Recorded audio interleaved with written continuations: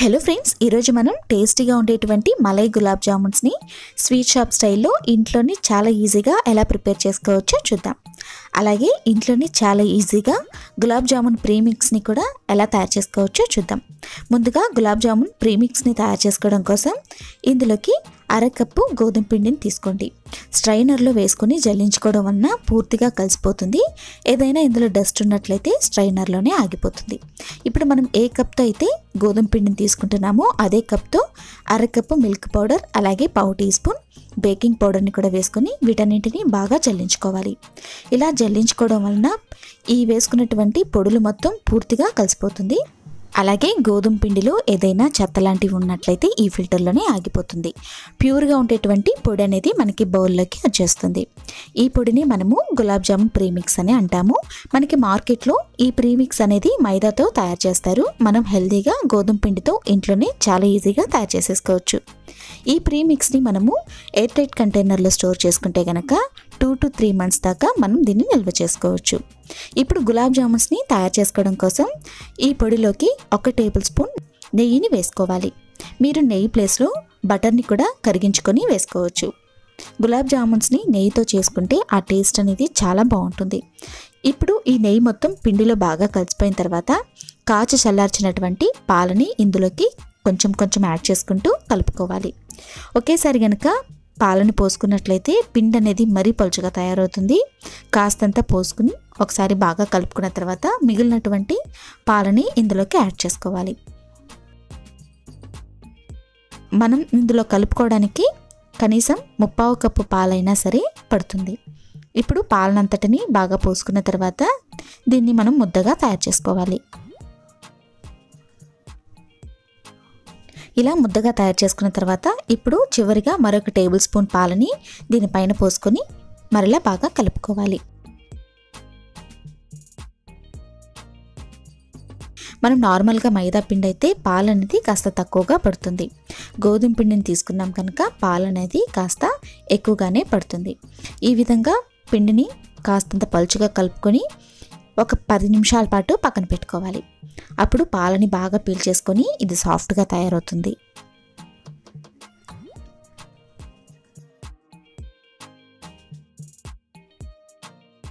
మనం ఈ ప్రీమిక్స్ని ఫ్రిడ్జ్లో స్టోర్ చేసుకుంటే ఎప్పుడు కావాలంటే అప్పుడు గులాబ్ జామున్స్ని ఈజీగా తయారు చేసేసుకోవచ్చు.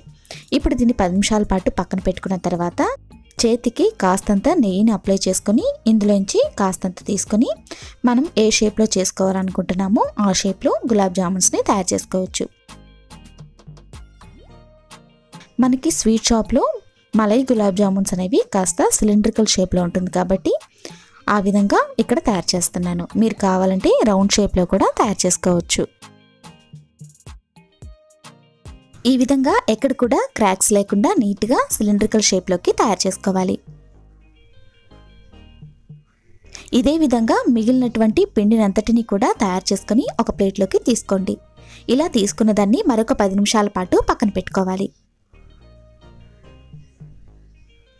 ఇలా పది నిమిషాల పాటు పక్కన పెట్టుకోవడం వలన ఈ పిండి అనేది బాగా సెట్ అవుతుంది.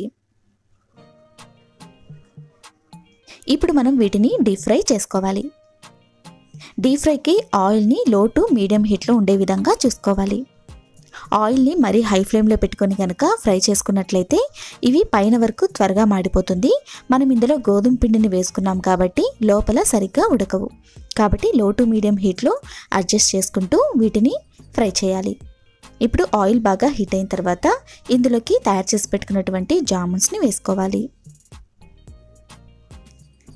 లో టు మీడియం హీట్లో టర్న్ చేసుకుంటూ వీటిని అన్ని వైపులా ఫ్రై చేయాలి. ఇలా అన్నీ కాస్త రంగు మారగానే బయటికి తీసేసుకోవాలి. మనం ఇందులోకి గోధుమ పిండిని యాడ్ చేసాం కాబట్టి కాస్త కలర్ అనేది డిఫరెంట్గా ఉంటుంది. ఈ విధంగా బాగా ఫ్రై అయిన తర్వాత వీటిని బయటకి తీసేసుకోవాలి. ఈ విధంగా ఒక ప్లేట్లోకి తీసుకోవాలి. మనం గోధుమ పిండితో తయారు చేసినప్పటికీ కూడా ఎక్కడ కూడా క్రాక్స్ లేకుండా ఈ జామున్స్ అనేవి నీట్గా వస్తుంది. ఇప్పుడు మనం వీటిని షుగర్ సిరప్లోకి వేసుకోవాలి. షుగర్ సిరప్ తయారు చేసుకోవడం కోసం స్టవ్ పై ఒక సాస్ ప్యాన్ కానీ ప్యాన్ కానీ పెట్టుకొని ఇందులోకి రెండు కప్పుల పంచదారని వేసుకోవాలి. అలాగే అదే కప్తో రెండు కప్పుల నీళ్ళని పోసుకోవాలి. ఈ పంచదార మొత్తం పూర్తిగా కరిగేంత వరకు కలుపుకుంటూ ఉండాలి. ఇప్పుడు ఈ పంచదార కరుగుతున్నప్పుడు ఇందులోకి పావు టీ స్పూన్ యాలకుల పొడిని మంచి ఫ్లేవర్ కోసం యాడ్ చేసుకోండి. మీరు కావాలంటే స్వీట్ షాప్ స్టైల్లో వెనిలా ఎసెన్స్ని కూడా యాడ్ చేసుకోవచ్చు. లేదా రోజ్ వాటర్ని కూడా ఇందులోకి టూ డ్రాప్స్ యాడ్ చేసుకోవచ్చు. ఇప్పుడు ఇది బాగా మరుగుతున్నప్పుడు మనం ఫ్రై చేసుకున్నటువంటి ఈ జామున్స్ని ఇందులోకి యాడ్ చేయాలి. జామున్స్ని వేసుకున్న తర్వాత ఐదు నిమిషాల పాటు మీడియం ఫ్లేమ్లో ఉడికించుకోవాలి. నార్మల్గా మనం మైదా పిండితో కనుక జామున్స్ని చేస్తున్నట్లయితే అంతసేపు ఉడికించుకోవాల్సిన అవసరం లేదు. గోధుమ పిండిని యాడ్ చేసాం కాబట్టి ఒక ఐదు నిమిషాల పాటు ఉడికించుకుంటే సరిపోతుంది. ఇప్పుడు ఫైవ్ మినిట్స్ తర్వాత దాన్ని పక్కకు తీసేసుకొని మరొక ప్యాన్ పెట్టుకోవాలి. ఇందులోకి అరకప్పు చిక్కగా ఉండేటువంటి పాలు అలాగే ఐదు టీ స్పూన్ల మిల్క్ పౌడర్ని వేసుకొని బాగా కలుపుకోవాలి. మనం గులాబ్ జామున్స్లో ఫిల్ చేయడం కోసం మలైని తయారు చేస్తున్నాము. మీ దగ్గర మిల్క్ పౌడర్ కనుక అందుబాటులో లేకపోతే మీరు పాల మీగడనైనా సరే ఇందులోకి వేసుకోవచ్చు. పాల మీగడతో పాటు రెండు టేబుల్ స్పూన్ల పంచదారని కూడా వేసుకొని బాగా కలుపుకుంటే మనకి మలై అనేది తయారవుతుంది.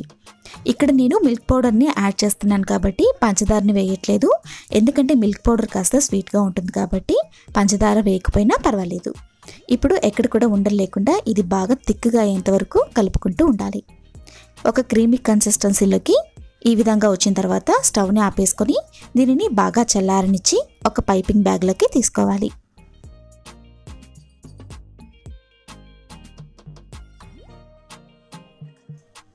ఈ విధంగా బాగా చల్లారిన తర్వాత దీన్ని ఇప్పుడు ఒక పైపింగ్ బ్యాగ్లోకి తీసుకోండి. మనం ముందుగా తయారు చేసి పెట్టుకున్నటువంటి గులాబ్ జామున్స్ అనేది షుగర్ సిరప్ని బాగా పీల్చుకొని ఉంటుంది. ఇప్పుడు ఈ జామున్స్ అంతటిని కూడా పది నుంచి పదిహేను నిమిషాలు మాత్రమే ఈ సిరప్లో ఉంచి వీటిని ఇప్పుడు బయటకి తీసేసుకోవాలి. ఈ విధంగా బయటకి తీసుకున్న తర్వాత దీన్ని మజ్జికి కాస్తంత కట్ చేసుకోవాలి. మనం తయారు చేసి పెట్టుకున్నటువంటి మలైని ఇందులోకి ఫిల్ చేసుకోవడం కోసం కాస్తంత కట్ చేసుకుంటే సరిపోతుంది. ఇదే విధంగా అన్ని జామున్స్ని మధ్యలోకి కట్ చేసుకోవాలి. మరి పూర్తిగా కట్ చేసినట్లయితే రెండుగా విడిపోతుంది కాబట్టి కాస్తంత కట్ చేసుకుంటే సరిపోతుంది. ఇదే విధంగా అన్నింటినీ కట్ చేసుకున్న తర్వాత మనం తయారు చేసుకొని పైపింగ్ బ్యాగ్లోకి తీసుకున్నటువంటి ఈ మలైని దీనిపైన ఫిల్ చేసుకోవాలి. మీరు ఎంత కావాలంటే అంత ఇందులోకి ఫిల్ చేసుకోవచ్చు. ఇలా అన్నిట్లోకి ఫిల్ చేసుకున్న తర్వాత చెర్రీస్తో కానీ డ్రై ఫ్రూట్స్తో కానీ దీన్ని సర్వ్ చేసుకోవచ్చు. అంతే ఫ్రెండ్స్ ఎంతో టేస్టీగా చాలా సింపుల్గా అయిపోయేటువంటి స్వీట్ షాప్ స్టైల్లో మలై గులాబ్ జామున్స్ మనకి రెడీ అయినట్లే. మీకు కనుక ఈ రెసిపీ నచ్చినట్లయితే మీరు కూడా తప్పకుండా ట్రై చేయండి ఫ్రెండ్స్